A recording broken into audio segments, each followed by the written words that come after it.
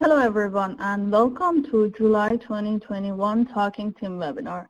My name is Nilu Parvinashtiani and I'll be helping with facilitating today's webinar.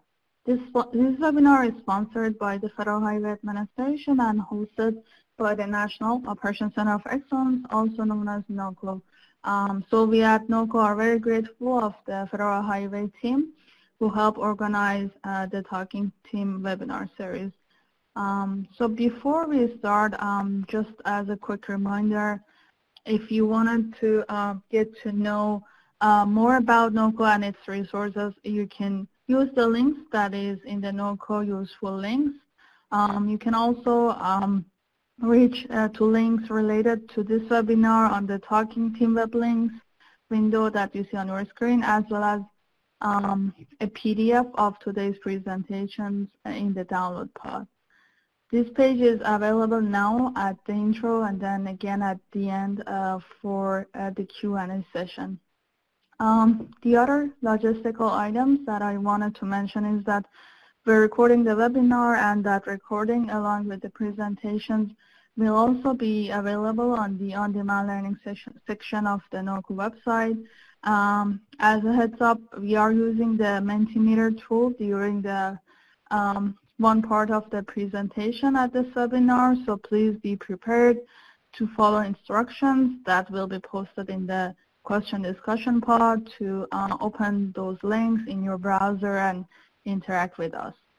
Um, all the phones for attendees are on listen-only mode by default, but please use the discussion uh, question pod just like you are doing now for any comments and questions uh, during the webinar. Um, we have a dedicated time at the end for Q&A session. So uh, as questions come to your mind, please just type them at that chat pod and uh, at the end uh, we'll go ahead and cover those questions. So that's all I had with the logistics and uh, I'll hand it over to our moderator, Paul Jodoin, to start us off. Paul.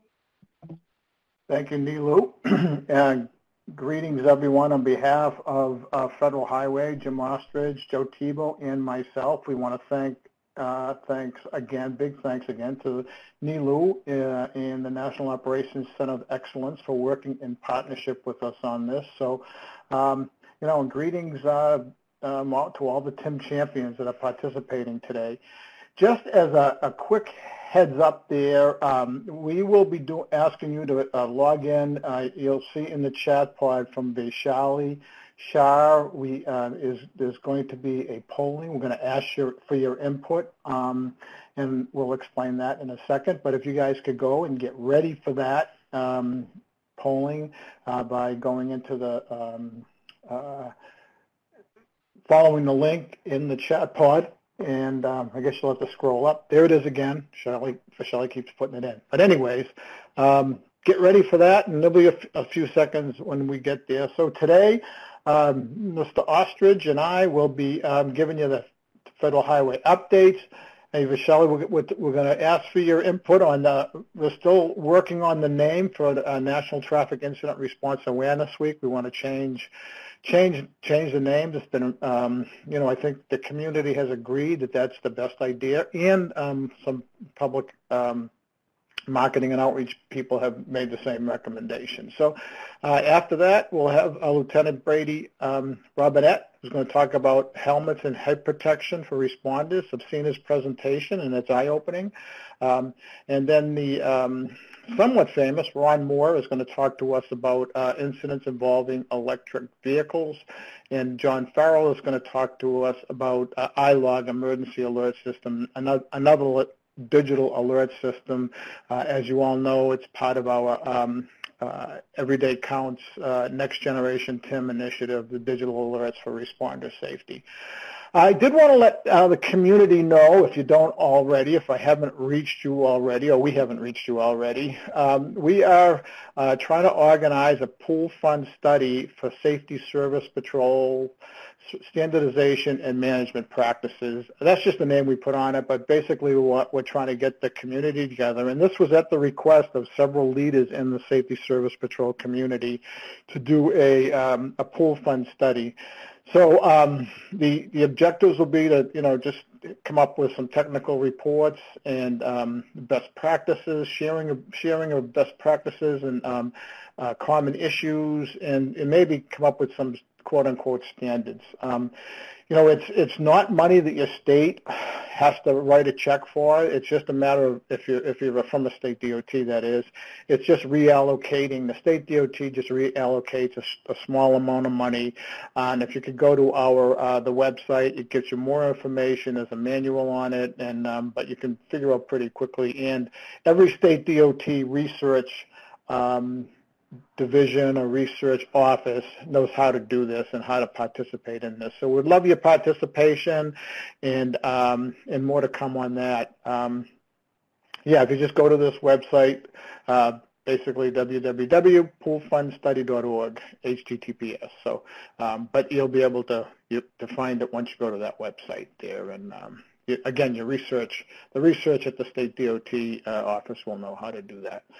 Uh, the self-assessment is coming again. Um, uh, just a reminder that it kicks off September 1st. It's going to be through late November.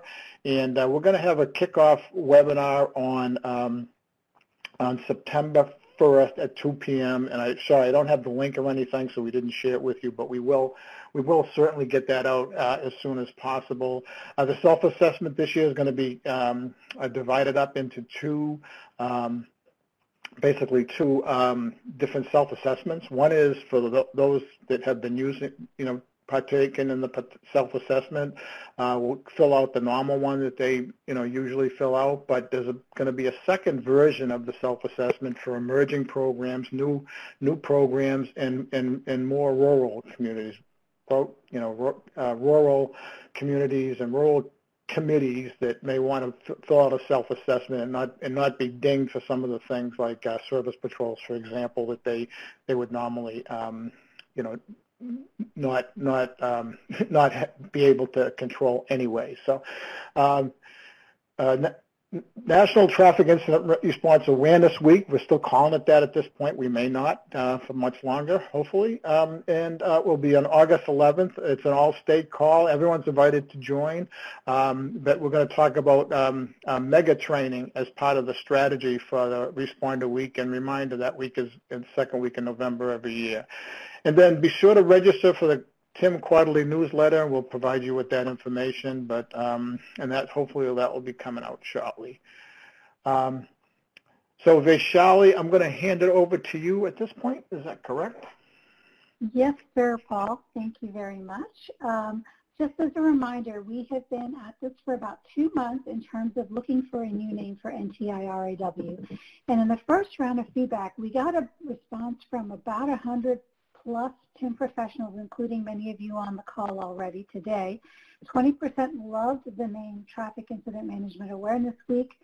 Uh, a fifth said we need to look further, and we got a lot of feedback from public affairs, uh, both within FHWA and outside of FHWA across uh, member associations to look for something that's more public friendly. And so this month, we want to present three total names for consideration, including TIM Awareness Week, and look specifically at how those names um, elicit interest, um, excitement, and ease of use. So with that, let me go ahead and share my screen. Nilu? Um, and please do join menti.com 4380-9448. Um, Nilu, may I please share my screen?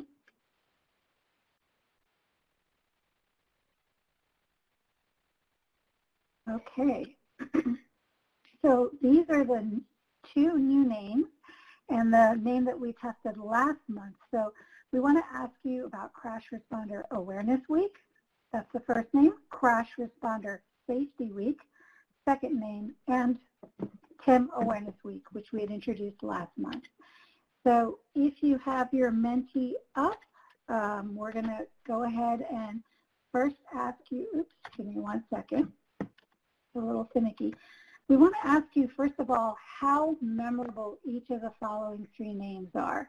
Um, and this is memorable from, you know, if you talk to your friends, if you talk to your colleagues that might not be TIM experts, if you talk to your family, which of the names do you think is going to be most memorable? Is it Crash Responder Awareness Week, Crash Responder Safety Week, or Traffic Incident Management Awareness Week. So we'd love to get you guys to tell us which of these three names do you think when you're talking to coworkers, when you're talking to uh, executives, when you're talking to your neighbors down the street, which name do you think will be most memorable? So we have about 20 responses and we have about 120 people on this call today. And so what I'm hoping to do is get over 50 if we can in the next 20 to 30 seconds. So I'm going to see how fast you guys are putting in your numbers and seeing where we get. We're at 35 now, and that means we have about 15 more to go. How memorable are each of the names? So we're slowing down, but we can get to 40 maybe. Come on, guys, get your um, texting thumbs or your keyboard five fingers and, and uh, give us your feedback. So we're at 40. We're going to go to the next question. We have two more questions. Keep in mind this first one was on how memorable the names are. The second one is how exciting these names are. You know, when you're talking about it with, um, say, a news station or with a, you know, community association, which of these names solicit the greatest excitement? Is it Crash Responder Awareness Week? Is it Crash Responder Safety Week? Or is it Traffic Incident Management Awareness Week? Which one feels the most compelling, important, and exciting as you use it um, within your agency and outside of your agency. So we're at 29 responses. Let's see if we can beat our record of 40 from the last one. Looks like everything is neck and neck right now, you know, 0.1 or 0.2 off. So all of you guys that are highly opinionated, now I know some of you on this call have strong opinions. Please express those opinions through this poll uh, which of the names do you feel is the most exciting and compelling? All right, we are over 40, so we will go to the next one, and that is how easy is it to use in a conversation? So when you're talking to somebody, which of these do you think is going to be the easiest to use? And I clearly see the first person who responded just loves TIM Awareness Week, Traffic Incident Management Awareness Week. But if you're going to use it when you're standing, you know, on the side of the street or you're going for a walk and you're talking to your friends, which of these are going to be the easiest to use in a conversation? Hey, did you know this is Crash Responder Awareness Week? Hey, did you know this was Crash Responder Safety Week? Or hey, did you know this week is Traffic Incident Management Awareness Week? Which of these do you think would be the easiest to use in a conversation um, not only in a technical audience, not when you're at TRB or at your TIM committee meeting, but when you're out there in the broader public because recognizing from our last call, we talked about the fact that National Traffic Incident Response Awareness Week is as much, if not more, about reaching out to the public and making them aware of the key importance of responder safety. It's, um, you know, getting to the broader audience. So we have 50 responses on this one. And so with that, I will relinquish my extra two minutes that I had out of five minutes, and I will turn it back to Paul. Uh, this has been really useful input. If you guys have other thoughts, please do um, add them in the chat pod. It looks like we're sort of neck and neck in, in terms of our response with Crash Responder Safety Week and TIM Awareness Week as being a little bit more um, preferred over the first one. Um, we hope by next Talking Tim to show the final, uh, debut the final new name. So thank you guys very much. And with that, back to you, Paul. Thanks, Vaishali. Yeah, looks like we were pretty much neck and neck on those. No, no strong um, overarching uh, um, winner there. But um, you know, just so you know, Jim and I have to, uh, um, you know, we have to get the lawyers involved, make sure that it's a, an appropriate um, uh, use of the name and that no one else is using it. And we do know there's some acronyms that, um, that someone mentioned in the chat pod, and, and we know we, we have to consider that, although I would like to not even revert to an uh, acronym, but that's my own personal opinion. So next up, Mr. Jim Austrich, my partner in crime at Federal Highway. Jim? Thanks, Paul, and thank you, everyone. As usual, um, have to start out with this slide. Um, it, it's horrendous. You know, we're just past the midpoint of 2021, folks, and uh, in, insane uh, the carnage out there. Um, a second, as you can see, a second safety service patrol was added uh, to the uh, struck by uh, line of duty deaths. a patroller down in Florida who two weeks after being struck uh, by a motorist while he was assisting a uh, commercial motor vehicle, he succumbed to his uh, injuries. So um, keep keep him and his family and immediate and extended families um, in your thoughts and prayers, please. This is this is just insanity, and I I hate I hate having to cover this every time, but it's up to us to really um, figure out how we're going to stop this. The numbers um, are increasing. We had a nice jump this this uh, time around. You can see there at the bottom, almost 541,000 responders trained. Uh, but that first banner, um, I'm going to talk to you in a minute on another slide when I show you the map. Uh, the um, Web-based training continues, whether at NHI and uh, ResponderSafety.com, Responder Safety Learning Network. So please, please, please keep using your influence and, and push your your communities, your in your you know your jurisdiction, your responder disciplines to take this training. Um, there's still so much going on in our country, but TIM is a is a is a big deal, and we got to get everybody working together to prevent these these losses and, and injuries. Uh, through this slide in from the report, um, just to show you the increase above progress since last report. Um, um, in, in our quest or in our march to get to a, a million responders, and uh, of course the table down below of you know the training goal of 45%, the number of states. Um, unfortunately, there's still three states that are under 15%. I won't put them on the spot, but you can uh, see for yourself in the map. Uh, they are trying, uh, the map that's coming up that is, they are trying, um, but anything that you can do maybe to reach out to uh, individuals in those states. And again, it isn't rocket science. You can figure it out. Uh, reach out to Paul, Joe, or myself. Um, but you guys are the leaders and the champions, and we need your help to uh, continue uh, training our national uh, uh responder po population. Um, next here, uh, last month we had four very successful train-the-trainer sessions. They were virtual.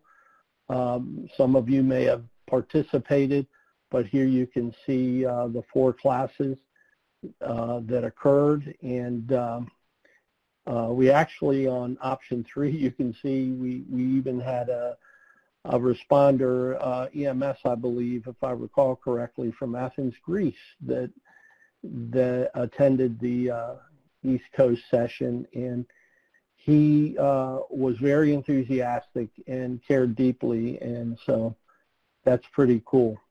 Uh, a huge shout out um, um, on behalf of Federal Highway by Paul, Joe, and myself, Katie, and our team to these individuals with which I think most of you are on this call, um, and uh, we can't thank you enough for, for you volunteering to to conduct those classes and um, bringing additional responders into the realm of of traffic incident management and, and in particular to train um, because there are a lot of states that need to freshen their bench. And so thank you to Patrick Rooney, Justin Gwynn, Gary McClellan, David McDonald, Jeff King, and Grady Carrick. Thank you so much. Next here you see the number of, this is what I was referring to. Okay, I have to say this because it, it struck me, and it strikes, it strikes me quite a bit, folks, that since the summer of 2012, we've trained, look at that number down at the bottom, over 13,000 trainers instructors, folks that came to the train the trainer sessions, that graduated, and as you saw in the initial slide, there's 23% of that number is what has gotten us to that 541,000 responders trained. But think if if half of this number or or two thirds of this number had engaged and trained, we I, I dare say we'd be at the million or more. And it's and I, I'm sorry, you know, I love you all dearly. We Paul Joe and I we, we love you dearly, but you know, and it's not you per se. I'm just saying it's such a shame that that so many uh, uh, trainers, people graduated from this train to trainer and didn't train uh, a single person. Now there may be trainers out there that are training and never reported, as you've heard Paul and, and myself say over the years. But if you know somebody that, that has trained eh, eh, or, you know, know anybody that's graduated and, and isn't doing anything, you know, to train responders, even if it's an asylum, we ask you, I ask you, reach out, try to get, try to get them engaged. So I'll get off that. This map shows, as you can see, the top number, which is those trained in person, and the number in parentheses web-based. This map shows the total trained by state. And all these slides are in, in, in the uh, file, file uh, share. And of course the goals map, going back to that other slide, uh, over you know 25 states have reached or exceeded the 45%, which is phenomenal. Uh, but for some reason there's a pause, and, and, and well, we we know partially the reason, right? We won't get into it. Um, but TIM doesn't stop. We have to keep doing this this job so that all of us get home, our families and friends. This is really a, a, a, a national epidemic, uh, or as our friend Jack Sullivan said recently, you could call it a pandemic, the, the struck by situation. And so please, I encourage you to do anything within your sphere of influence to get people trained and, and get fired up again. This slide here I added just to um, as a as a little bonus today for those of you that are new to to talking Tim uh, these these uh, uh, URLs, these these resources, not only for the the first two that I mentioned uh, for the online training at NHI and uh, Responder Training Learning Network, but also I added our our TIM web page, which is under develop or not under development. It's it's being refreshed, but nonetheless a lot of resources there and our great friends uh, NILU and the National Operations Center of Excellence. Just as a repeat, it's in the it's in the file share, the uh, the URL. There's a tremendous amount of resources at the National Operations Center of Excellence you can take advantage of. And this last URL, sorry, I grabbed it off off our site. It's rather large, but these are the point of contacts for all 50 states, DC and Puerto Rico. If any of you are interested in reaching out to a neighboring state to do a a, a uh, border to border or regional training. Again, get fired up and do what you got to do to to to train together once you're you're training in person, obviously, and and more as important as uh, leading a train the trainer session. Um, but whether in person or virtual, Please keep doing what you're doing. These trainings, by the way, are free. There's no charge to the responder community. And lastly, here's our contact inf- information. God bless and thank you for everything you do and keep doing great things. Back to you, Paul. Thank you, Jim. I just want to reiterate that number of, of, of fatalities struck by that Jim mentioned. Remember, we're, you know, we were at 40, was it Jim, 44 last year overall? 40, 46 last year. 46, but we're already at 35. So, um, you know, but, you know, it's just horrible. But one, one thing that we, you know, we don't hear about um, as often. Sometimes we hear about it, but more often than not, at least at the national level, we don't hear about it, is responders struck by that, that leads to injuries and um, often life-changing injuries. So, um, you know, we, we're trying to get those numbers. We're trying to get some numbers, um, but um, I think Lieutenant Brady Rob, Robinette has, has got a, a, great idea, and I've seen his presentation, and it's, it's, uh, it's very compelling. So I won't, I'll stop talking, Lieutenant, and hand it over to you. Thank you, sir. Well, thank y'all. Thanks everybody at Federal Highways and NOCO for allowing me to speak on this subject that I'm so passionate about. But definitely got a lot to cover uh, in a kind of a little amount of time. I will list some additional resources, so no doubt there'll be some unanswered questions today. Just wanted to hit some of the highlights of, of this topic. But I, I titled this uh, presentation, What's Your Head Worth? And to me, that may be the most impactful statement that I make today. So think about that as I go through these slides and how that applies to your organization. All right, if I can get to the next slide. So kind of what started all this uh, uh, roadmap for me was our January 11th accident of last year.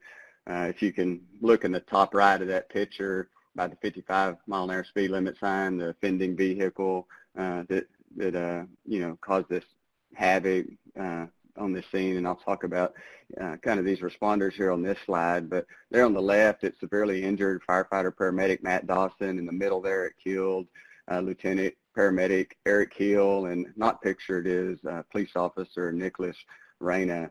Um, I was stationed with Eric for several years, got to see him a day and a half before the accident. Uh, you know, this accident shook my department, the community, uh, to our core, and I can imagine the impact it's had on the families and friends of, of these responders. To talk about Matt just a little bit more, uh, he suffered injuries, broken bones all across his body. He's pictured there on the left before the accident, in the center a couple months after the accident. They had his skull removed there so his brain could swell and not cause additional damage, but he had orbital facial fractures and a skull fracture. And uh, his overriding injury he's trying to recover from today is a traumatic brain injury, and he's on an extremely long road to recovery. And that's him on the right from about a month or two ago. So uh, good recovery so far, but still extremely long ways to go. So in the days and weeks after this accident, I decided I wanted to be part of change. And uh, what I wanted to focus on first was head protection. And so after talking to Jack Sullivan at the Emergency Responder Safety Institute, he suggested I write an article, and that's what I did. I spent a significant amount of time researching this. That article is available on uh, on the website uh, of uh, fire engineering. You can look look for it, Google search it or whatever. But uh, what I really do in that article is make a call for a standard to be developed for a helmet specifically for roadway workers. And, and I hope we get there at some point. Uh, we're not there yet. So what can we do today? Well, we can select from a helmet that's currently on the market that best meets our needs and start wearing it today, tomorrow, and next year to protect our heads, to protect our most important organ in our body. And what my ultimate goal is, is that everybody on the roadway, whether that be fire, EMS, law enforcement, tow truck operators, DOT, construction crews, safety service patrols, that we're all wearing appropriate head protection to protect our head. Uh, emergency responder did a survey a while back. I think it's pretty telling of the dangers of the roadway. I think we all have a keen awareness of that. But uh, to summarize a couple of those statistics, 90% of the respondents when asked the overall life safety hazard of a roadway incident compared to a structure fire. So 90% uh, said it's of equal to or greater dangers, danger than a structure fire. And so 63% to uh, further narrow that down said they'd basically rather go into a burning building than a normal roadway incident call. So pretty crazy statistics. A lot of times you've asked law enforcement kind of the same deal. Would you rather go, go to a roadway incident call or a shots fired call? A lot of times, many times, they'll say they'd rather go to a shots fired call. And so I think that highlights the keen awareness and the keen danger of the roadway. I don't think right now across the nation we're doing a good job of protecting our heads, and, and that's what I'd like to see change. This picture was from Lubbock Fire prior to January 11th, but I just posed the question, are any of these heads sufficiently protected? And, and we got fire firefighters on scene, EMS, tow truck operators, law enforcement. So we got some uh, structural helmets on, a, a, lot of chin straps up around the back of the helmet. uh, got no helmets on, plenty of the responders out there, and a guy at the front has a different looking helmet. And so uh, to answer that question, I would say no, none of these heads are, are properly protected. I'll, I'll try to relate back to that uh, white helmet up front here in some of these future slides though. But, so, and I think, you know, despite our best efforts uh, to protect ourselves from struck by accidents with blocking apparatus, you know, everything that Tim teaches us, those D-type drivers still seem to way, find a way to inflict harm upon us. And so I say presumably these issues are only going to get worse as roadways get more congested, drivers get more distracted, and new technologies such as autonomous and semi-autonomous vehicles present a whole new set of issues. Kind of a graphical representation of some of the helmets on the market today, by no means not all, all of them. The ones in red on the right are, are firefighter helmets and ones in blue are just from other industry, but kind of my point with this graphic is near every sport or industry has a specifically designed helmet to meet the unique needs of that wearer, you know, but we don't. Uh, on the right, uh, all those have a, a, standard backed by the National Fire Protection Association, Wildland Structural Firefighting, ARF, Search and Rescue, Swiftwater, but something firefighters do more often than any of that is respond to roadway incidents, but we don't have a helmet. Uh, and so again, I hope to hope to see that change. And most of all of these helmets have a standard behind them. Not only do they have a helmet, they have a standard. So uh, kind of think about some of these icons, those bubbles as you look at them, but you know, think about like what if football players didn't have a specific use helmet and they had to wear a skateboarder's helmet? Obviously that wouldn't be appropriate. You know, what if our military firefighters with the ballistic helmets had to wear one of these other helmets? That wouldn't be appropriate. But imagine these groups, one of these groups, any of these groups, not wearing a helmet at all. It, you know, it's kind of crazy to think about it that way, but even further, imagine the governing bodies that govern these sports or activities being okay with no helmet being worn. And that's really the the where we're at on on roadway calls. Uh, governing bodies really don't give us guidance on whether we should or shouldn't wear a helmet, and so you know I hope to see that change. Uh, talking about helmets more specifically and how we can select one. So uh, motorcycle helmet standard would probably be, could be argued that it's uh, the most similar uh, to the type of roadway protect or head protection we need on the roadway. Snell is an organization that writes motorcycle helmet standards, and this is just kind of an excerpt. I'm not going to read each of those four on the right, but it's uh, the most critical elements that they define as protective properties for the head. And so I'm going to talk about each of those four on these following slides briefly. So this crash dummy here kind of highlights uh, the different type of hazard that the roadway presents as opposed to the head protection like a hard hat or a structural helmet provides. Those protect us from top-down impacts. You can see that crash dummy's head impacts the side of that vehicle. So we need a different type of helmet this little video right here is a cutaway of a structural helmet. I'm tapping some hard plastic right there to show you it's hard on the inside. Uh, I press down really hard on that, really good protection from the top of the head. With simple thumb pressure, I can bottom that helmet out. And in this case, that hard plastic is pushing up against the, the head, not the type of protection we need protecting our head. So here's a side-by-side -side of a structural helmet and a motorcycle helmet. So we don't want a webbing suspension system protecting ourselves from any type of crash type scenario. So we want foam protecting our head. Foam is the type of uh, technology that's in motorcycle, car racing, bicycling, snow sports, rock climbing, basically all those other helmets, they protect the wearer's head with foam. And so my point is webbing suspension system isn't good for crash protection, foam is. So this little video, I highlight the positional stability. It was a, another item that Snell talked about is really important. I built this test apparatus kind of to the same design criteria that helmet standards test helmets to for positional stability. You can see the first structural helmet came off.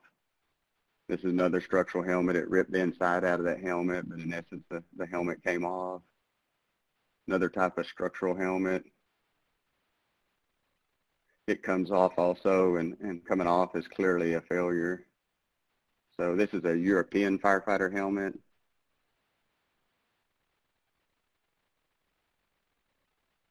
It stays on, rotates to a degree. Testing a hard hat here. I should have been wearing a helmet myself because this this buckle comes over and slaps me in the head.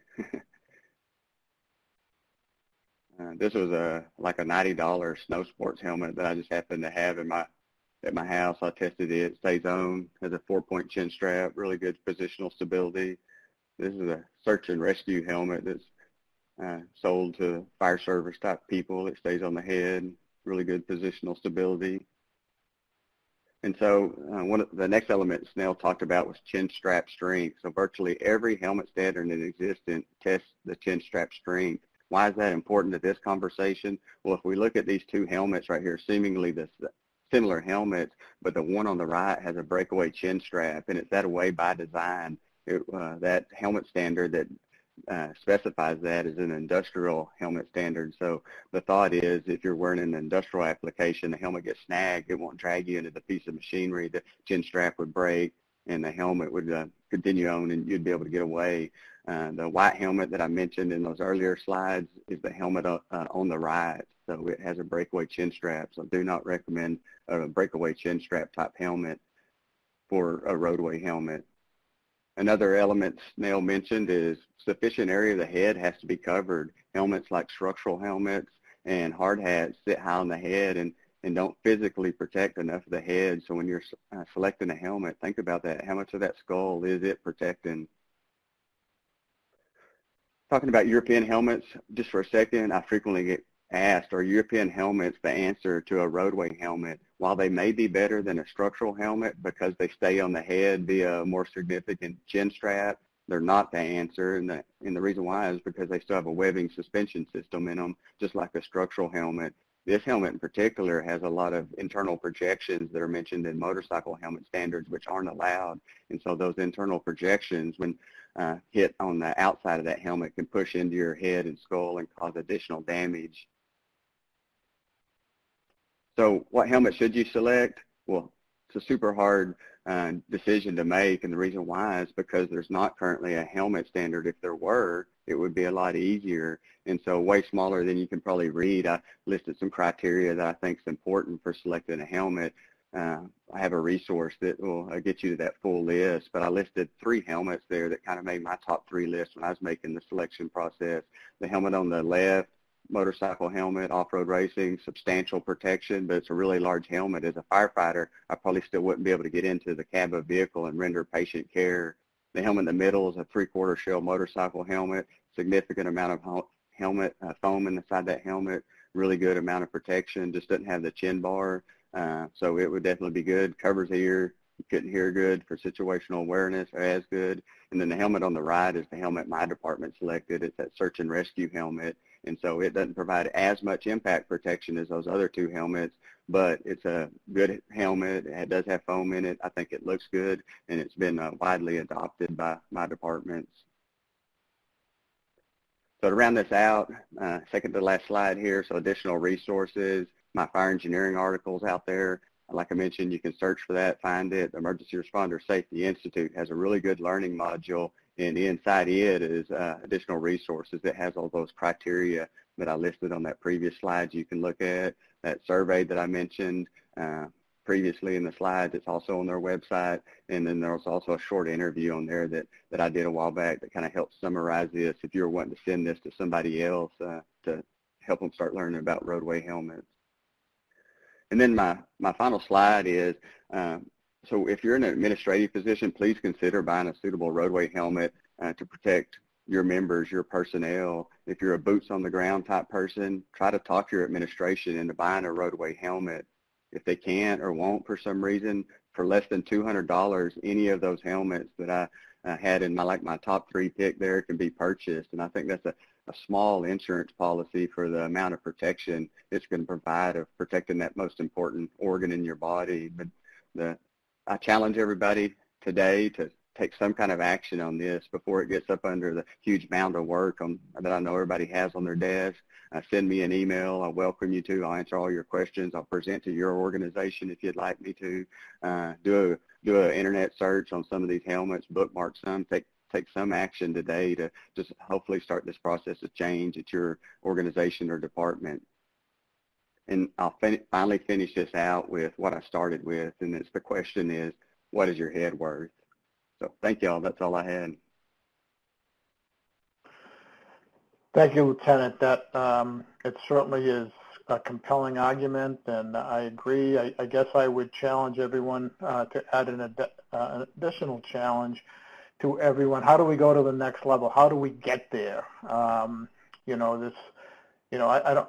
I don't know if, if you can look at those pictures of lieutenant's colleague and and not feel the pain um, that that that gentleman, his family, his extended family, the fire uh, his friends uh, go through. So uh, how do we get how do we get there? Uh, maybe we need to brainstorm with a, a selected group and, and, figure it out. So um, thank you, Lieutenant. Really appreciate the information. So our next speaker is, a, in, at least to me anyways, is, is a very special guest. Um, uh, for, and I'm going to spend a minute introducing Ron. Um, sorry, Ron. Uh, but Ron, um, there's a lot of credentials that Ron comes with. But for me, a lot of you may not be aware that um, you know the National Responder Training is in part um, based on training that was um, developed for the um, Council of Governments in the Dallas-Fort Worth area. And um, that was in large part developed by Ron Moore, if not wholly developed by Ron Moore. Uh, Ron Moore also was uh, at the very early stages in the development team of the National Responder Training, the SHRP 2 training when it was called SHRP 2. uh, and has remained active and is one of the, um, you know, been one of the master trainers and one of the best trainers in the country on TIM. So, um, you know, he certainly comes with other credentials, but uh, you know, as far as for TIM, he was he's been a very important piece of the national responder training all along. Uh, he's had trained hundreds of responders and um, um, trainers in the national responder training. So with that, that's enough said. Um, Ron, you could take it from here. Thank you, Paul. Uh, I wanted to do a um, little overview for the people online about traffic incident management challenges that I see exist currently or are coming related to electric vehicles and also related to autonomous vehicles, EVs and AVs. Uh, at the bottom of this screen is my email. If there's follow-up, rmore at fastmail.us will get right to me if there's something I can help you with in the future. What I see as a traffic incident responder and also as a traffic incident management person is um, two challenges from the electric vehicle. Um, an, an EV involved in a crash and an EV involved in a fire. We'll talk about how that's going to be challenging to us. And then also the autonomous vehicle involved in a crash as well. this is not a program about Tesla, although when people talk about electric vehicles, EVs, Tesla is the, the lead dog. Uh, they actually started in 2008 with a small vehicle. 2012, this vehicle came out, which is called their Model S. S is in Sam. But here's the key: whether it's um, whether it's the Leaf, the Nissan Leaf, whether it's a Chevrolet Volt, a Chevrolet Bolt, B-O-L-T, whether it's a Tesla Model X or Model Y, it doesn't matter. They're using a new chemistry, lithium ion. The high voltage battery uses a new, essentially more powerful chemistry, lithium ion. If you look at the graphic on the right, you'll see um, the orange colored area represents where do you put a, a lithium ion high voltage battery on a four-door sedan. On almost all electric vehicles that are produced or planned to be produced, they're floor pan mounted. This slide, this is what design engineers many times refer to as the roller skate. The rear axle is upper left. That centered between the two uh, tires is the, the motor. This is a 1,000 pound, 400 volt high voltage battery in this container, in this what I call a footlocker, the battery pack. It's floor pan mounted. The body of the Tesla Model S is put on top of this. So this particular unit, if you took the lid off this this can, there'd be over 8,000 um, individual rechargeable batteries, slightly uh, this, larger than but comparable to a double A battery, flashlight battery. So Tesla just recently had what they call their battery day, and they're coming up with a new battery chemistry that may change this a little bit. But in many of the incidents we're going to look at, responders talk about the crash physically damaged the battery box, and they found these small battery cells uh, scattered throughout the scene. The upper right, the orangish vehicle, is a brand new Chevrolet Bolt, B-O-L-T. Look at this artist rendering. You can see where the floor pan mounted battery is. On the left, in the in the blue, is what will be the Ford F-150 Lightning. It will be their electric pickup truck. But again, it's floor pan mounted lithium ion, almost going from axle to axle on these vehicles. This is what we're up against, regardless of the make, regardless of the model. We're, we're dealing with lithium ion and pretty much floor pan mounted. Okay, so how does that affect us for traffic incident management? This is an incident investigated by the National Transportation Safety Board that occurred in Florida back in 2016. A Tesla four-door sedan occupied by one person went under impacted and went underneath a tractor trailer truck trailer that was crossing the road in front of it. It, it went under the truck at 74 miles an hour.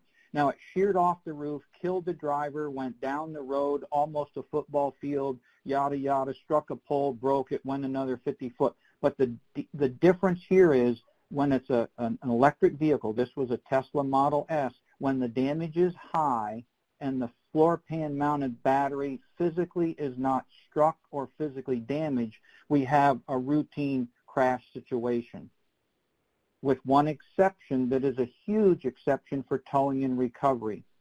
NHTSA, National Highway Traffic Safety Administration, has forever offered interim guidance. There's three documents. If you're tow and recovery, your tow operators have to understand that this document, tow and, and recovery operators and vehicle storage facilities, is free it's at the NHTSA website if you just do a search for interim guidance, and it is critical. There's a second one for the owners of these vehicles, and there's a third one for fire, for law enforcement, for EMS, and for, um, for rescue extrication personnel.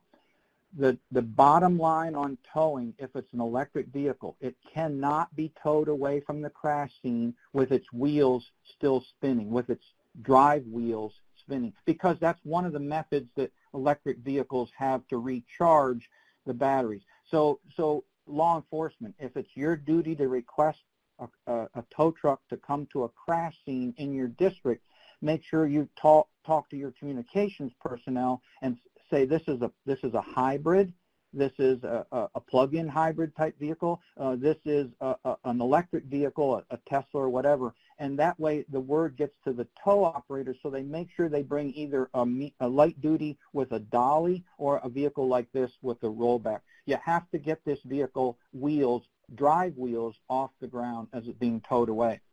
Now, I borrowed this from um, Dan Spies in, in Pennsylvania. Uh, this is an incident that they had back in March. This was uh, a Tesla vehicle, so it's an electric vehicle. But again, the focus is not just on Tesla.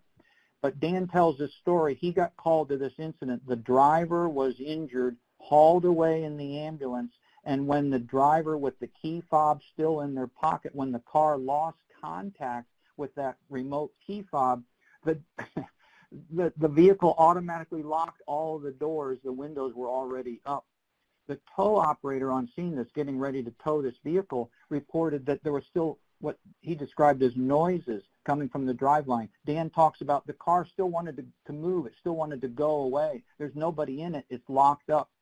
The tow operator disconnected the 12-volt battery, but on this particular EV, on this particular make and model of Tesla, which is a Tesla Model Y, there is no exterior badging, exterior markers other than the corporate Tesla logo T at the front and the Tesla corporate logo T at the rear. Other than that, he, what they didn't realize is on this particular Tesla, there is an entire second step that needs to be done to physically power this vehicle down, to make it, to make it dead in the water, to shut it down. I like what one note here, and I'll mention a couple other case studies. Dan had to consult with online instructions. There are emergency response guides, ERGs, for all of these hybrid plug-in hybrids, and electric vehicles. Several of the responders of cases that I'm going to talk about actually consulted online um, resources. So that's one thing we want to encourage. Now I'll go to Lower Merion Township, Pennsylvania, which again is, this one is a suburb of um, City of Philadelphia. Kind of a brand new electric vehicle, once again a Tesla, but that's not the point. Uh, catches on fire while being driven. The, the uh, uh, Gladwyne Fire Department and a couple others respond to the car fire. It turned out to be this Tesla. Look at the quote from the Gladwyne Fire Department's um, press release. Two supply lines were laid and firefighters used two hand, line, hand lines. Now when a firefighter says we laid a line, we connected to, we physically connected to a fire hydrant. You can't do that out on the interstate and you won't be able to do that on, on a rural road and we use copious, meaning flooding, huge amounts, copious amounts of water were poured on the car fire on this vehicle for over two hours. That's what's going to happen. Law enforcement, the, the fire officer in charge of, at a burning electric vehicle may turn to the law enforcement officer in charge and say, I'm sorry, sir, this is a electric vehicle. We don't have enough water to continue to douse this keep the fire under control or put the fire out. So we're going to have to go defensive. Essentially, we're going to have to let this vehicle burn up. Where what used to be a 20-minute um, car fire scenario, uh, traffic management-wise, 20 minutes, 30 minutes, we're done, could now be hours. Look at this one in uh, Texas suburb of uh, uh, uh Spring, Texas, suburb of Houston. I talked to the firefighters and read their reports four hours of, of off and on fighting this fire. And if you if you calculate out what they said they applied from hydrants that were in this neighborhood, 23,000 gallons of water were used to put out this fire. Now, I want to show you this particular one because it, it is uh, the best example of how weird uh, these fires are. This is a, a Tesla that crashed through a guy's front yard crashed into his garage traveling 82 miles per hour. Now, in the video that, that is produced by um, Lake Forest, California Fire Department, that you can see the burning vehicle in the guy's garage um, caused the, the garage to partially collapse, caused the structure to catch on fire. So the firefighters had a structure fire, but they also had this burning EV in the garage. At some point in time, they were able to get the house fire knocked down enough that they were able to physically pull that, tow that uh, Tesla out of the, the garage, out onto the driveway. Then their heavy rescue had to come in and, and brace up some of the structure. Now look at the smoke in the background. That is from the, the Tesla that has been pulled out into the driveway. This is 45 minutes after the fire, the burning Tesla fire was extinguished. That is not right. There's something not right about smoke emanating from that. It's off-gassing. That's what all the authorities talk about. Thermal runaway. The stranded energy in the battery has caused thermal runaway. The cells are burning, and one cell, just like dominoes, will it will burn or will ignite the next one. And and on on the Tesla vehicles, there are uh, vent ports. Happens to be on the driver's side and on the passenger side. Look at that fire. There is no way a firefighter today can say that's a normal fire, but that will be our new normal. That is the blowtorch effect of a, a lithium-ion battery involved in thermal runaway underneath, in that pan, in that compartment, underneath this Tesla blowtorching. And the ironic part of this for tow and recovery, when they finally went to tow this vehicle, they, they, they put water underneath it for several hours and, and finally cooled it down. The tow truck guy is going to tow it away. When they went to tow it away, it caught on fire again, partially while being loaded on the tow truck. This is an incident from Mountain View, California. This is literally right down the road from the Fremont, California, from Tesla's headquarters. This car ran into that, that concrete barrier. It ran through the gore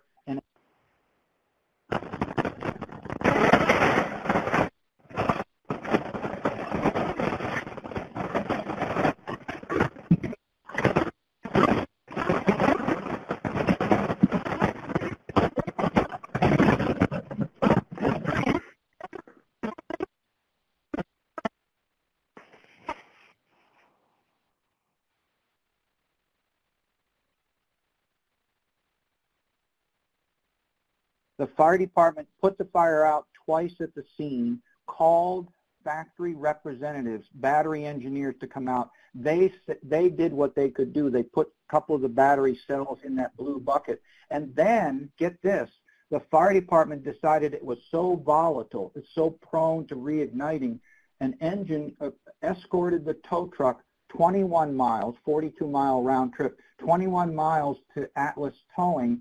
When they dropped the Model X, this, this vehicle off at the tow yard, it caught on fire twice in the tow yard and reignited six days later. NTSB did a report on this vehicle and found um, three weeks later, when NTSB investigators got to the car, it still had stranded energy. It still had electrical current in the battery. I need you to get this report. You need to go on, on a search engine and get NTSB forward slash SR dash 20 forward slash 01. It is a NTSB safety report. It truly is an outstanding document. It's totally free to download, and it summarizes the safety risks to emergency responders related to lithium ion in electric vehicles, exactly what we've been talking about. It has details of the investigation from uh, Lake Forest, California with the garage. It has details of the investigation from um, Mountain View, California on, on uh, the, the interstate crash. We haven't adopted this policy yet in the United States, but if you had a Tesla, if you had an electric vehicle, this is a Tesla, that catches on fire in the country of Belgium, they will bring out a giant roll-off dumpster, fill it with water, bring a crane or a heavy wrecker, and essentially dunk your electric, your burnt electric vehicle in this water for 24 hours. I, I'm used to car fires 20 minutes, we're back in quarters, and I'm talking here 24 hours to submerge, to, to totally submerge uh, this vehicle. My final couple slides talks about autonomous vehicles. They also, uh, th this is an emerging field.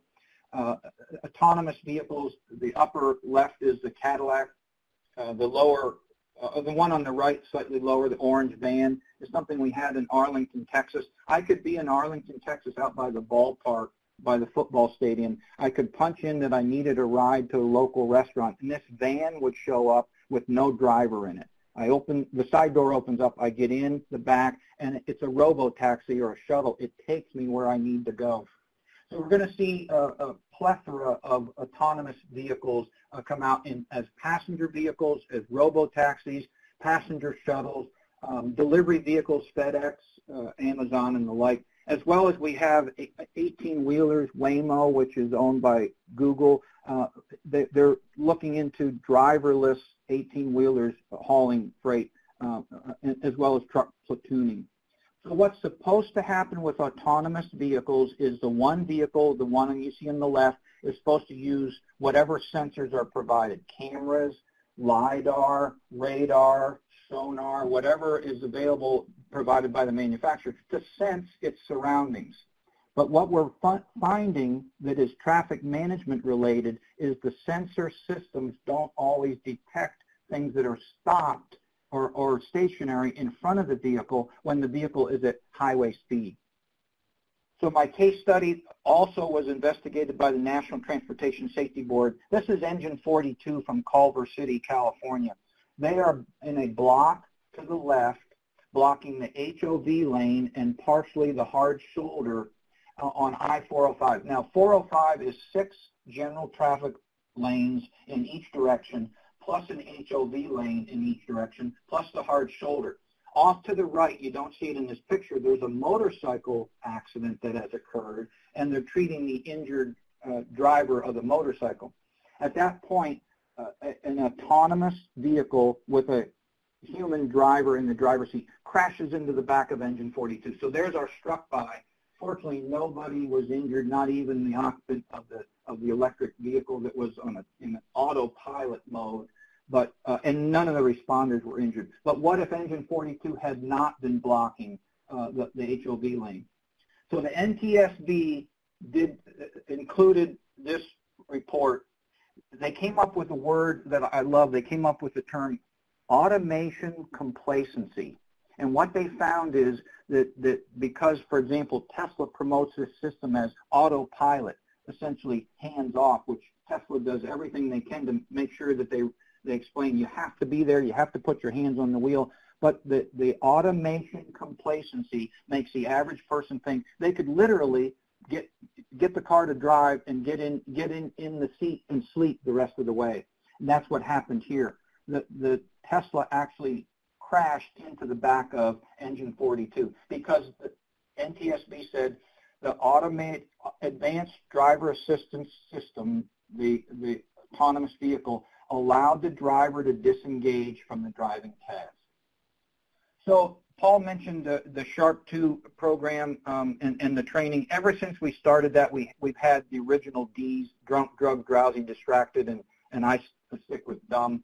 So in, in SHRP 2, if you're a trainer um, and, and you get to that slide, it should be uh, up front in your program. You're talking about the Ds. It's, tra it's traffic incident management against Ds. I'm proposing we add a new D, drunk, drug, drowsy, distracted, dumb, and driverless just because we are already having cases where autonomous vehicles, driverless vehicles, are crashing into stopped uh, vehicles, uh, people, uh, uh traffic cones, driving over flares and the like.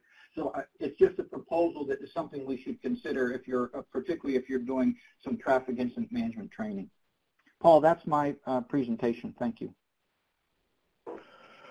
Well, tremendous, tremendous information as usual. I, I agree with you in so many points. One is the dumb. Um, I, I, I got over over vetoed at, at um, within the team on using that term, um, and you know we'll we'll consider that. I, I dare say that Jim would um, would would probably agree with that. Uh, additional D as we're upgrading, uh, updating the, the training. Um, you know, another thing that I can't help thinking about is these problems are not going to go away, right? They're going to get, you know, more and more, right? With the push for, we're going to see more electric cars. Um, there's going to be electric charging stations in the next transportation bill. So, um, you know, we, we need to get a handle on this um, as a nation. And uh, again, another, I guess that's another another um, research effort that we, we probably should take a look at. Um, and uh, Jim and I will, and Joe Tebow will, will take a look at that. Um, so our next um, speaker is John Farrell, um, and again, another um, another um, way that we can use technology to improve safety of responders and motorists. And um, that's about all I know about the helpful alert, so I'll be quiet and hand it off to John. Thank you. All right, thank you very much. So nobody really needs to know about the system in advance, and it's funny you say that because that's actually kind of the point of it. So the way this started is a few years back, um, our team was presented with a challenge. And the question became, how do you contact travelers during an emergency or a major incident on a road, but they don't have your mobile app, meaning the state's mobile app like a 511 or something like that.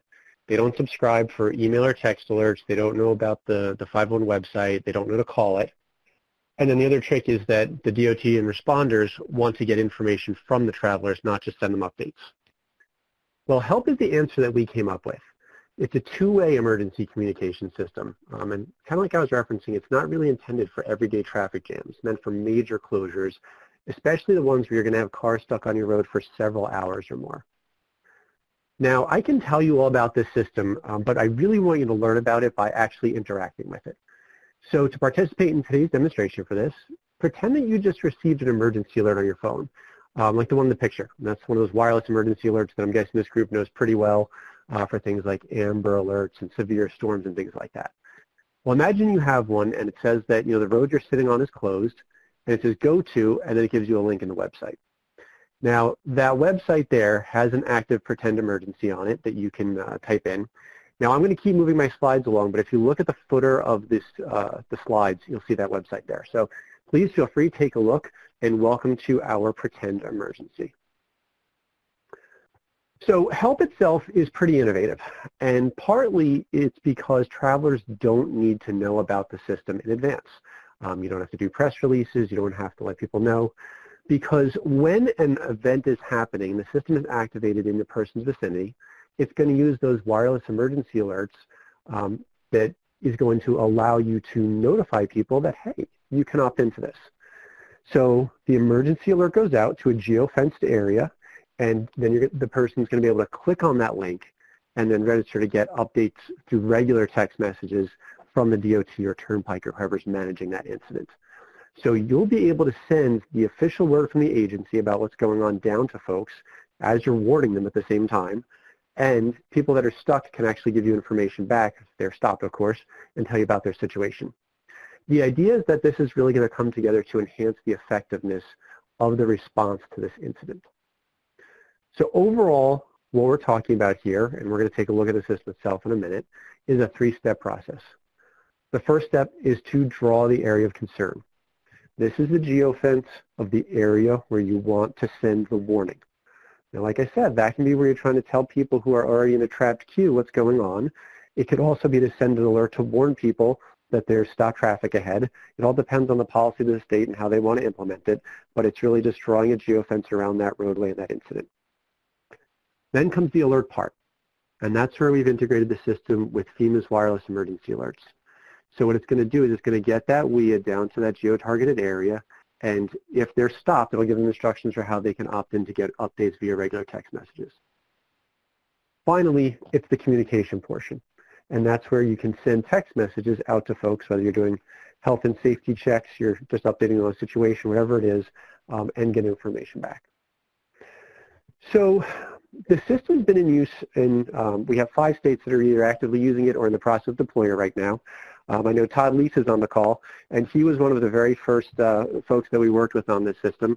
Um, and actually today's demonstration event was inspired by something that happened on the Pennsylvania Turnpike.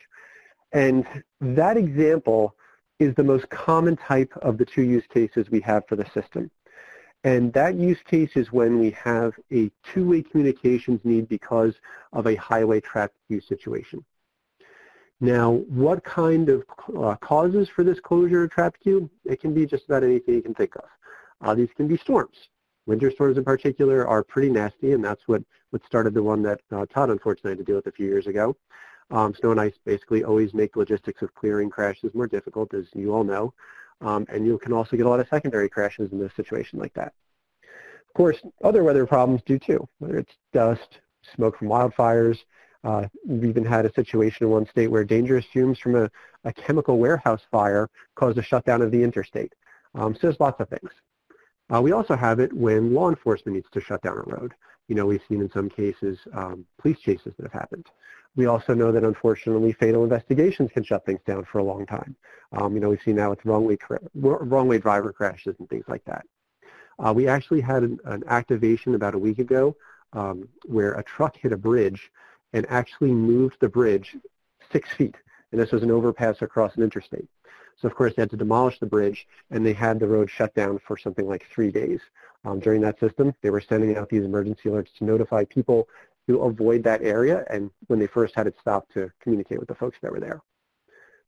The point that I want you to understand here is versatility. It doesn't matter why there's a crash on your roadway or a closure of your roadway in any of these cases, you're going to be able to send out this, this emergency alert, communicate with folks, give them updates, and receive information back from them. Now, the picture you see on the screen right now, that's actually a screenshot from a real activation in Pennsylvania. And all of those dots that you see on the screen, those are all vehicles, well, cell phones, I guess more accurately, that have opted in to receive updates. So every time a pin goes on that map, that's another person that's opted in because you can share your location and then the DOT is actually going to be able to sit at a central location and they're going to be able to see the trap queue um, painted literally in front of their eyes along the way. Now, the other type of use case that we've seen this for um, is for one-way alerting. And this is what I alluded to earlier when I said you want to send out a warning message to a group, but you don't necessarily have a trap queue involved. And the one really good example, well, okay, there's a few good examples, but the one that I want to point out here is another one that uh, Todd Leese was unfortunately involved in. Sorry, Todd. Um, the Turnpike unfortunately found a crack in the bridge that connects the Pennsylvania-New Jersey Turnpikes um, during a routine inspection at one point. And they had to warn motorists for a very long distance. In fact, if you see the image here, that is the actual shapefile uh, that was drawn, which goes back somewhere between 50 and 60 miles up the roadway to warn people, to say avoid the area if you can, but if not, be prepared for some dangerous stopping conditions because they knew that the roadways that were people were diverting onto from the bridges were not prepared to handle the traffic of the entire Pennsylvania Turnpike uh, at that point. So this is a really good way to warn people about things. Um, you can also use it if you're evacuating from something like a hurricane and, and things are going, uh, all the roadways are turning contraflow, um, or flooded roadways, or even if a roadway in another state is closed, you might want to let folks know at the last turnoff point. So those two use cases constitute um, the basics of the system. So what I'm going to do is I'm going to switch over here for a moment, and I want you to kind of take a look at what the system looks like. So the page I have up right now, for those of you that haven't seen it yet and played with it, this is what you see when you first click on that link that's in the emergency alert. You're going to see a brief uh, picture, a description, more or less a title here, and that's going to be very similar to what was in the emergency alert. And then you might get a little more detail on the website here, and then you can register and opt in for alerts if you want. Now, if you register and opt in, you're going to wind up having a bunch of fields come up, and these are things that different agencies customize different ways, but this is basically a little information gathering about the people that are stuck on the roadway right now. All that information comes in and gets populated on a screen like this. I'm just refreshing it as more folks have joined the demonstration. And what we're going to see here on the map is on the top of the screen is kind of a spreadsheet looking area that has all of the phone numbers and the answers to the questions from folks that have opted in to receive updates. On the bottom half of the screen with the map, we're going to see our geofenced area, and we're going to see some of those pins coming in. Now, obviously, there's not a lot of people out there, so this is all simulated right now. But this is where I can see a particular uh, dot there. And again, a red dot indicating it's a truck or commercial vehicle. I can see what their phone number is, and I can look up here and I can reference things. But the real power here, aside from that initial emergency alert, is that if I want to send an update or a message to everybody in this queue, there could be four people here, there could be 40,000, it wouldn't matter. I can select all participants and I can send an update message to them from my console as a TMC operator or somebody like that. Click send and I've just blasted that message out to everybody that's in my trapped queue the way I really like people thinking about this, and it was actually sent to me by a, a, member of the DOT, they said, yeah, this is instead of our state troopers having to go around and knock on everybody's door or window to say, hey, how you doing? Or hey, here's the latest update. Um, you know, in many cases, that's not really practical or possible anyway. This is a way to get that out there to all these folks. You can also wind up seeing any messages that people text back in. So if you see on my screen right now, I've got kind of two things in two colors. The greenish or yellowish one is messages that the TOC has sent out. And then the ones in orange or, or salmon, I guess, are ones that have actually been sent by the public back to the system. So you actually can see things going in both directions. So what this tool really does is it's going to open things up for you in terms of giving you the ability to reach out and alert folks in the area that you're concerned about, whether that's for stop traffic ahead or in the case where folks are already stopped on your roads and you want to communicate with them and calm them down or give them updates or anything else you want to do. And it's then going to also help you get that information back to paint that picture of your queue and show you exactly what's happening on the roadway uh, in terms of what the people on there are doing and experiencing and just generally who is there. So as I shift back to my slides, uh, this is the handful of states that are currently using the system, um, Pennsylvania being the longest running. Uh, they've had the most activations, and like I said, um, it was their, their incident that they had in the winter a few years ago that really inspired uh, the, the starting of this system, and uh, the rest have come on board since. So what I really want you to remember here, if you remember nothing else from uh, the few minutes I've gotten to talk to you today, is that there's really these three things that you're going to be able to do using a system like this. Um, you're going to start by drawing, so you're going to be able to define that geo-fenced area of concern.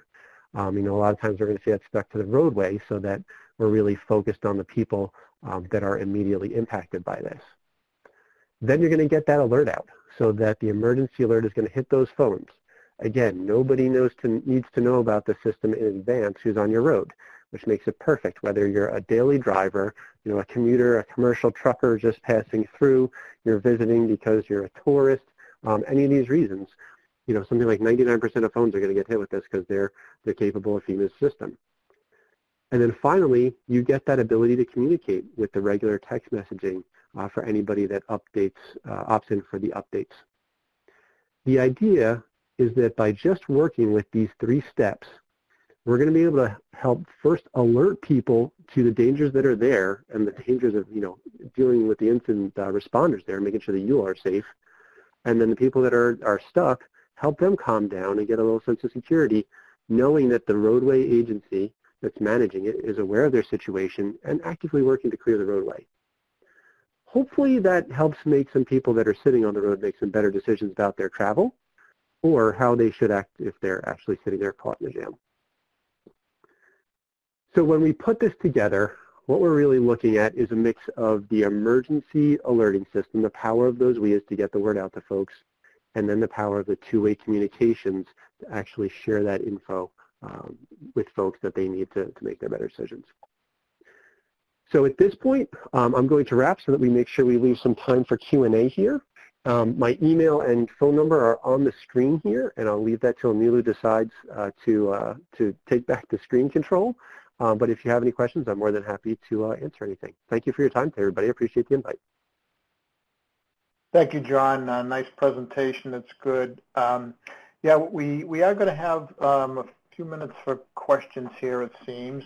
First thing I want to comment is on Todd Lease. You know, he's a little annoying, don't you think? Everywhere I go, Jim and I go, we hear about Todd's doing this and Todd's doing that. He's one step ahead of everybody else. You know, uh, when I say he's annoying, I'm just uh, joking, of course. But, you know, then I see him in the chat going crazy in the chat. He's just such a great leader, Todd. I, I just felt that I need, I was compelled to give Todd a shout out because of all his leadership and all the cool things that he's doing over there in Pennsylvania and on the Pike. Um, but yeah, I can see why your wife would call you annoying. Yep, Todd. So with that, I just wanted to mention before we get into Q&A, and I, I, we do have some questions, and I have some questions. Um, so next month's Talking TIM is we're going to go back to the Every Day Counts, Next Generation TIM, focusing on um, um, local TIM programs is one aspect of the Every Day Counts initiative. So Patrick Chavez uh, at Colorado, they have a cool program where they have 27 TIM teams across across the state. And then we'll be talking about all these different ways that TIM, the TIM training has been institutionalized. That's where we want to go, right? We, we want to be institutionalized. Uh, the, the, well, yeah, we want to be institutionalized, all right? The, the training needs to be institutionalized um, in, in order for it really to stick. And we're seeing that throughout the country. We want to talk a little bit about that. So that, that is next month. Uh, again, Talking TIM is the fourth Wednesday of every month. So with, with that, um, we do have some questions in the chat. If someone could help me find them. Um, uh, one is, uh, oh, Bob, um, Todd answered um, Bob Murphy's, um, uh, friend Bob Murphy from Florida's question. And, um, but I, I had a question um, for the lieutenant. You know, how, how do we go to the next level with the, with the, the helmets in your opinion? Is it just a matter of uh, getting acceptance with the senior managers, the white hats, if you will, and you know, and others. It's not just white hats. That, that's just fire, but you know, with all the other disciplines. Um, I just, uh, you know, I just something I, you know, compelled to ask is what what what can get us to the next level? You think with with the helmets? Yes. Yeah, so I think I think that's an excellent question, and it's the obvious question, and, and maybe the hardest question of how do we get to that next level of really mass adoption what I like to look at to me is the relative success of the high visibility vest. You know, uh, how, however long that came out ago, maybe 10 years or whatever, you know, the idea came about, it got mandated, you know, at the federal level, at, at all the levels it is, and then adoption is fairly high in, in a relatively short amount of time. And so I would like to see that the roadway helmet get adopted at the same at the same level and level of adoption and hopefully even higher than the high visibility vest. But to get there, I think we really need a standard to be developed. And, uh, you know, I think the missing piece of the puzzle is uh, unbiased entity picking that up and saying, we're going to spend the time in the lab, the due diligence to see the likely hazards a head would likely receive, and we're going to write a, a standard to uh, you know, protect those workers from from those injuries. And so uh, that's the missing piece of the puzzle, and probably funding is the biggest barrier with that right now. Okay, all right, thanks, Lieutenant. Yeah, that was a whole process with the with the high visibility vest, and, um, and there were some people that were on on that on that committee um, that you know or, or that group that, that pushed it and, and provided the standard, and, and so maybe we can we can look into that. Um, question for Ron. Ron, the um, you know the other materials that cannot be used? Only water can be used to put out those um, lithium battery fires? Um, Paul, there, yeah, there's two sides of that situation. For for the National Fire Protection Association did lab studies at the University of Maryland where they actually burned uh, the older style nickel metal hydride high voltage batteries and they burned the new style lithium ion. They were the ones that came up with copious the, the statement copious amounts of water because it, it needs cooling. So all of the case studies that I referenced in my presentation, the firefighters had difficulty cooling and they, they wound up trying foam, they wound up trying dry chemical or dry powder, but they also found that it was the water that being applied that was what finally did the trick. The real issue is the individual batteries that are called cells, whether they're in a pouch like an envelope or whether they're a battery like Tesla uses, they're inside of a metal footlocker and they're not it's not easy to get the water physically onto the cells that are burning. So what they found is the water copious flooding amounts, copious amounts of water, it has a, a cooling effect. So if somebody could come up with a, an, another agent that would cool, um, that would might knock down the fire for that moment, but it's it's taking away the heat to stop the domino effect, the thermal runaway effect that is a real issue. So that's why out on the interstate and in a rural situation, we're not going to have 20,000 gallons of, of water available, and that's why traffic management is going to be an extended operation when it's a electric vehicle fire. Yeah, that yeah, that's crazy, and all the issues that come with it. I'm really appreciate you bringing this to our attention. I, you know, I, I don't think we can bring out dumpsters like they're doing in Europe and, and cooling the vehicle off for, uh, you know, it, you know, for, for 24 hours, given the amount of electric vehicles that are, that are going to be um, going to be out there. Um, I'll tell you another thing. Another thing, Paul, that I forgot to mention uh, in that um, incident where the Tesla crashed into the garage, when they when the rollback, the, the, the tow truck rollback went to pick it up, the battery pack was exposed and, and droop, drooped. So they actually used, uh, used wood underneath to insulate the damaged battery from the metal decking of the tow truck. Now I know in my area here in, in, in, Dallas area, tow trucks don't come to the scene with a sheet of plywood, but literally we may have to investigate or explore insulating decks metal decks of tow trucks to prevent them from being contacted by crash damage or fire damage batteries as well. So that's another that's another aspect that tow and recovery needs to get involved in. Yeah, Jim, Joe, and I were texting off to the side, and um, we, we, we think this is a research project that might, may, you know, we, you know, we're going to try to try to get some attention on. Um, um, thank you for bringing it to our attention. I didn't never really realize how much, um, you know, the, the implications of it were, were that extensive. So. Um, yeah, it's cutting edge, hey, Paul. Paul. What you mentioned is true. There's many manufacturers as well as even states here in the United States that will say after a certain cutoff date, say 2030 or 2035, they're not going to allow the sale of internal combustion engines. There's manufacturers right now, like Volkswagen, they're saying after a certain year, we're going to stop producing internal combustion engines. So I think we are at, at the cutting edge. We are taking a look in, into the, the, the, the, the future uh, for us for traffic management, and now would be the time to kind of get a handle on it. Thank you. Yeah, you're right. If that was you, Jim, I was about to call yeah. you, Jim. yeah, more more questions for Ron. So what about environmental uh, issues, Ron?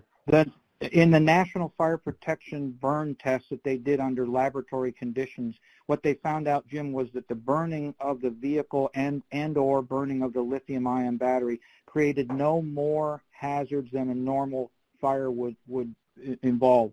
So that means that we're still going to use protective clothing. We're still going to stay uphill, upwind. We're going to use the self-contained breathing apparatus.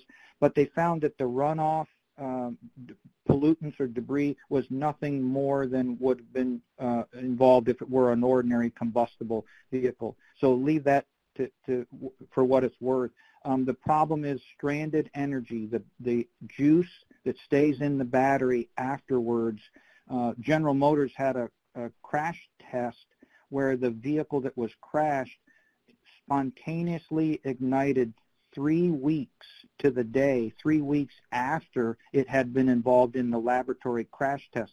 So the real problem is the, the stranded energy that stays inside. But what comes out is not is literally not not anything worse than what we're used to already.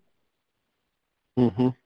And thanks, Ron. And as far as um, you mentioned the, you know, historically, you know, the lead acid batteries that we've been using for decades, but uh, what about these gel batteries? Is, is the lithium ion um, uh, contain gel, or is it a is it a battery?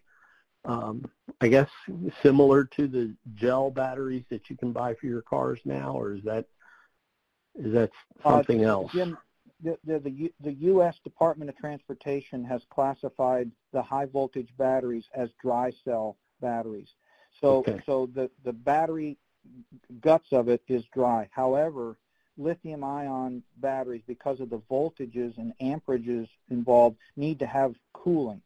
So the coolant can be yeah. a liquid similar to antifreeze or the coolant can be air. Manufacturers do it both ways. So you may actually find a liquid leaking out from a crash damaged uh, lithium ion battery, which may be nothing more than glycol antifreeze solution. Um, but the batteries, fortunately for us at this point, are classified as dry cells.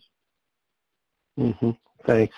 Well, you know, lithium ion is what most of us go to, uh, or at least I do, for for my tools, hand tools, and and and and whatnot, because just the the longevity, you know, of the charge that lithium ion uh, offers versus uh, the other. So anyway, um, thanks thanks for being here, Ron. This is awesome, and uh, of course you're you're awesome as well. Thank you, Jim. The other thing that's a, that's an issue, um, many of these vehicles, if you have a special charger at your home, your, your battery of your vehicle can supply power to electrical power to your home so now what they call vehicle to home power backfeeding is going to be an issue for firefighters as well. We may we may shut off the power uh, at the pole for a house fire and find that the house is still fully energized. It may be coming from the guy's electric vehicle that's plugged in uh, in his driveway or in his garage. So that's a, another issue. Yeah, it's not traffic management, but it's another EV type issue. Mm-hmm. Mm-hmm. Thank you. Well, I see some of the comments in here. We um, certainly agree that more more training, more information needs to be shared with the towers and the Safety Service Patrol, police officers, and of course fire. So more to come on this, and I think we you know, given the way the future is going with connected and automated vehicles, we need to focus on this. And actually, we had been thinking about a research topic for some funding that could be available. And we certainly, we just put our hat in the ring, so to speak, and we may not get the funding. But this is an area where I think, uh, given the, the future, we warrants uh, attention, um, and we'll see if we can get some.